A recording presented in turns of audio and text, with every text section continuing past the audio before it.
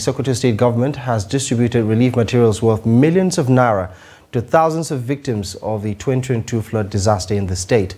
Addressing the victims during the flagging off of the distribution of the materials, the state governor, Ahmed Aliyu, says the materials were provided by the Sokoto state government with support from Special National Economic and Livelihood Emergency Intervention Program. 15,600 and 68 victims suffered from the flooding in the state in 2022.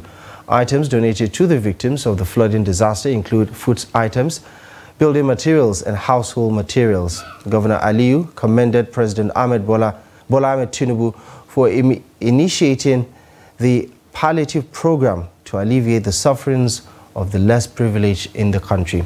The APC National Chairman Abdullahi Umar Ganduje charged people of the state to support the administration for more developments in the state.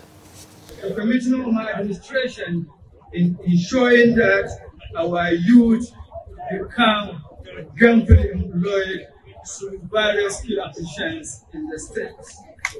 For those victims of the flood, we assure you today we will collect some food items that will assist you.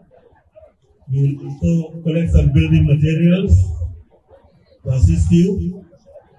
And this program is a program between federal government and the government of Sokoto State.